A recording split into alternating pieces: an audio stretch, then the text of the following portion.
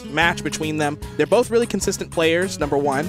Um, and then number two, they've both been seeing relative amount of success. So the head-to-head is definitely going to be something interesting to watch as we get into game one, Inkling versus Wolf. Yeah, uh, so something that uh, Brr told me just the other day is that last night he actually got a ton of experience versus high-level Wolf. He got to play hockey. I think he got to play another Wolf. Zanrio. Uh, Zanrio, yeah. Mm -hmm. Yeah, so he's uh, warmed up in this matchup, but that is not stopping Highwayman from bear stringing him across the No, stage. not at all. Highwayman's the kind of player not to get distracted from what matchup experience you may or may not have. He's got a solid game plan. He's going to see how you react to it.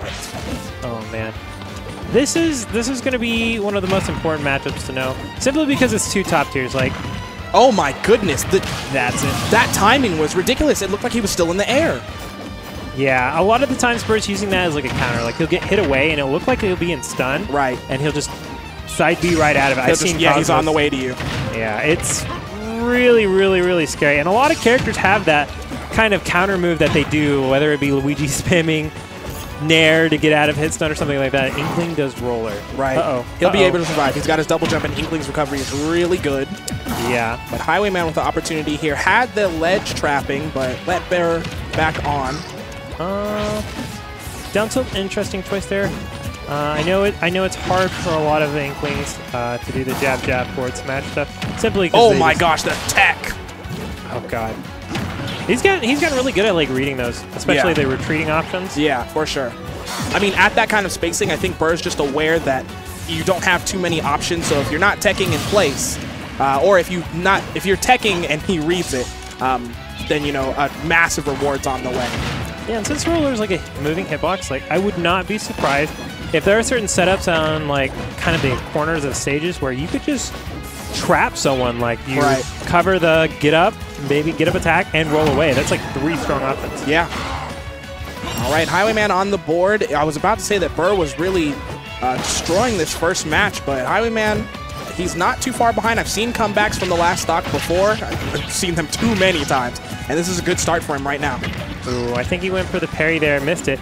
Uh, didn't get caught by the roller, rolled in this time, which I think Brr is doing exactly what I was explaining, where he's covering get up and then roll And away. then roll away. Yeah. I mean, Uh, it, it is good because if you roll in, uh, keeps him safe, so it's like a passive option for him. Oh, you, yeah, yeah. It's definitely one of those 50-50s where you either win or don't lose. Right. Ooh, yeah, nice. Very well put.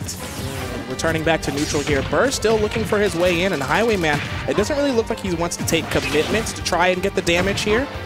Looks like he's trying to get Brr to come out of his shell, get to him instead. I'm not quite positive that that could be the good idea here, but Yeah, I, he the double jump was gone there. I might have wanted to see a little bit more aggression off stage when he only had that Oh! B, and that's probably going to be it. yeah, he had enough No. time. Oh, no. I, don't think. I think he felt like he had enough time to get the F smash with a little bit of butter on it, but uh, instead he didn't. Like he did that instead of switching sides and going for the F smash uh, on the left side of the stage. Does Inkling's forward smash have a sour spot? That looked really weak. I mean, I guess it was out of roller, which is why it looked so weak, but I'm not actually sure. That's a good question. there it is. Ooh, big blast right there. Two stock for Brr and Highwayman. He has some small moments of ingenuity, with some burst damage, but struggling to get kills or actually just avoid roller so he doesn't die. Yeah, I think that's going to be the big ad- adaptation here. And we kind of saw it at the end. Like, there was definitely a high amount of rollers at the beginning of it. And Highwayman started, like, teching inwards.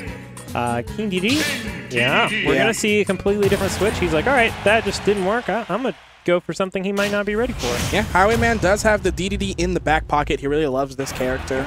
Uh, and, you know, the character received a good amount of love in this iteration of Smash, so uh, Inhale being one of them. So that's going to take out Splat Bomb. Not that that was necessarily a problem for him before.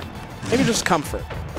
Yeah, I think I think uh, with these picks of characters that they played in Smash 4, uh, not only is it a bit of comfort, but you're going to see a little bit more consistency because they just have more uh, knowledge of different situations. Right. They're not going to be cut off guard so Easier much. to recognize situations, but situation we recognize right there, roller to F smash, almost taking Highwayman's stock. Uh, but what's going to be a really big factor in this match between these two right now and these two characters is that Inkling is pretty vulnerable, or not vulnerable, uh, struggles to kill. Uh, and so a heavy is definitely not a fun time for Brr. Oh my goodness. Now, you know what? You got it. you got it. He got the commentator's Oh! blessing. Yeah, the blessing. No more curses. We bless out here. Bless up. oh, blessed him with the hammer on top of the noggin. That was good pressure. A lot of uh, characters that have those projectiles that they like to throw onto stage while they're recovering uh, can really be shut down if you just go out there and shove a hitbox in their face. Uh, I know Brr has a particular problem that he'll want to shoot the splat bomb whenever he can if he doesn't think he's being pressured. Right. Oh, Oh, good splat bomb. That That's not the color he picked. Roller attempt at number two. Yeah, why not? You're not getting punished for it. Oh, never mind. Oh, well, you know, all right, all right. Data, data being acquired. Yeah, yeah, dude. Why not? You're just getting data. That's what I said in the first place, right? Yeah. Yeah, yeah. Oh, good jump over from Highwayman, but no conversion. It what? Ah, oh, everybody, Was that trades? everybody do the hokey pokey. No one knew what was going on. That okay, that's the kind of knowledge that like takes sense. Like you save that for the right opportunity, and you're just gonna get a kill. Oh man, opportunities being given to Brr for these kills because Highwayman is trying to challenge the up air with an air. And that up throw, up air is Oh! really consistent against DDD. I haven't. He's gotten it like My twice. lord, this is a blue boy. And uh, rolling is not going to be good enough to get in.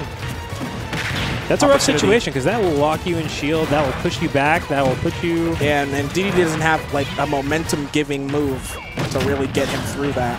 Yeah, and I bet I bet it beats uh, the Gordo too. Probably. Oh my! That Yeah. almost killed. Getting punished again for throwing splat bomb while Oh! recovering. These close calls with the Gordo. He Oh. can't take too many of these. Well, I mean, he can. He's got another stock. I imagine Brr doesn't want to have to deal with the next stock. Whoa! Yikes. Okay, so now we're in just throw kill percent. Heck yeah. Oh no! Miss input And from Brr's Brr. Oh no! Oh, Attack away. yep. Dang, That didn't even a- need to space it. Just whole entire paintbrush. The whole thing. Yeah, that didn't look like it had a sour spot.